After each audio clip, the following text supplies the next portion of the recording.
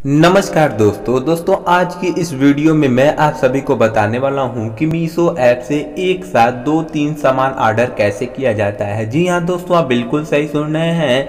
आज की इस वीडियो में मैं आप सभी को बताने वाला हूँ कि मीशो ऐप से एक साथ दो तीन चार पाँच सामान कैसे ऑर्डर किया जाता है। आज की इस वीडियो में मैं आप सभी को बताने वाला हूँ।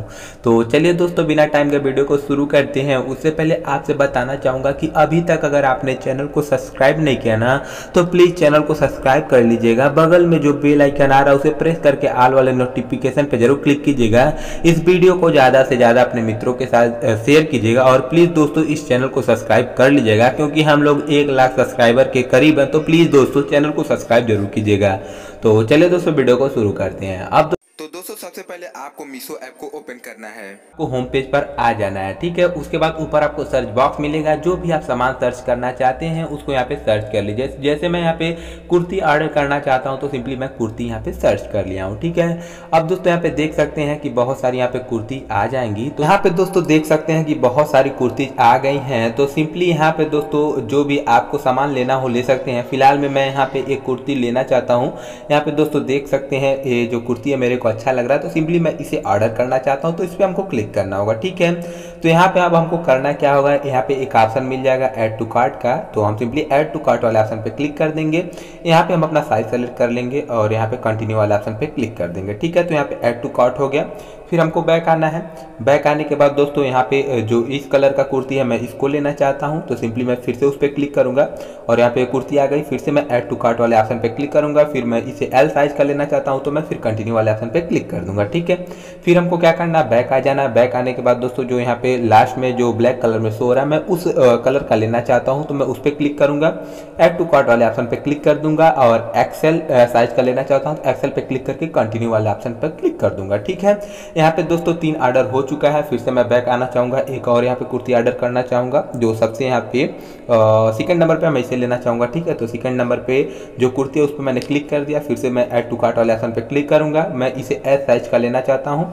कंटिन्यू वाले ऑप्शन पे फिर क्लिक कर दूँगा। फिर मेरा यहाँ पे एड्रेस आ जाएगा, मैं बैक आऊँगा, ठीक है? तो यहाँ पे दोस्तों मैंने चार सामान को अपने कार्ट में ऐड कर लिया है, ठीक है? अब दोस्तों बता दूँ, अगर आप एक ही सेलर का अगर सामान लेते हैं मतलब एक ही सेलर से कई अगर सामान लेते हैं तो आप एक बार में उसे ऑर्डर कर सकते हैं। लेकिन दोस्तों बता दो, अगर आप अलग अलग डिफरेंट डिफरेंट अगर सेलर का यहाँ पे सामान खरीदना चाहेंगे तो एक साथ नहीं खरीद सकते यहाँ पे दोस्तों जो रियलिटी है, मैं वही बताऊँगा। आपको झूठ नहीं बताऊँगा, जो भी रियलिटी है, मैं उसी को बताऊँगा। जैसा कि यहाँ पे देख पा रहे हैं। मैं नीचे अगर आऊँगा तो यहाँ पे दोस्तों बहुत सारे और भी यहाँ पे प्रोडक्ट हैं। अगर मैं, मान लीजिए मैं इसे लेना चाहता हूँ, अगर मैं इस पर क्लिक करके यहाँ पे ऐड टू कार्ट वाले अगर ऑप्शन पे क्लिक करूँगा ना तो ये मेरे जो कार्ट है उसमें ऐड नहीं होगा। जैसे मैं सेलेक्ट साइड पे क्लिक कर रहा हूँ कंटिन्यू वाले ऑप्शन पे क्लिक करूँगा तो यहाँ पे दोस्तों देख लीजिए, ये जो कुर्ती है मेरे कार्ट में सेलेक्ट नहीं होगा। ठीक है तो दोस्तों मैं बता देना चाहता हूँ कि सिंपली आपको करना क्या होगा। अगर आप एक ही सेलर का यहाँ पे अगर मतलब प्रोडक्ट लेना चाहते हैं तो उसे आप ऐड टू कार्ट में क्लिक कर लीजिए। फिर ऊपर जो कार्ट का ऑप्शन है, इसमें आपको क्लिक करना होगा।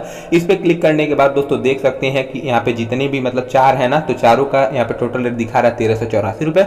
उसके बाद आपको कंटिन्यू वाले ऑप्शन पे क्लिक कर देना होगा। कंटिन्यू वाले ऑप्शन पे क्लिक करने के बाद यहाँ पे आप नया एड्रेस डाल सकते हैं या फिर अगर कोई पहले से एड्रेस डाल रखे हैं तो डिलीवर टू दिस एड्रेस पे क्लिक कर देंगे।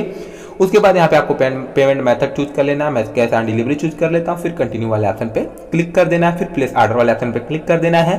तो यहाँ पे दोस्तों देख सकते हैं जो मेरा ऑर्डर है प्लेस हो चुका है, यहाँ पे चार कुर्ती मैं ऑर्डर कर लिया हूँ। तो दोस्तों इस प्रकार से आप ऑर्डर कर सकते हैं, लेकिन ऐसा नहीं है कि आप कई रिसेलर का एक साथ प्रोडक्ट को ऑर्डर कर पाए। ऐसा दोस्तों मीशो में कोई भी सिस्टम कोई भी ऑप्शन नहीं है। अगर भविष्य में कोई ऐसा ऑप्शन आएगा तो मैं ज़रूर आपको बताऊँगा। तो दोस्तों आशा करता हूँ आपको वीडियो अच्छी लगी होगी। वीडियो अच्छी लगी तो वीडियो को लाइक ज़रूर कीजिएगा।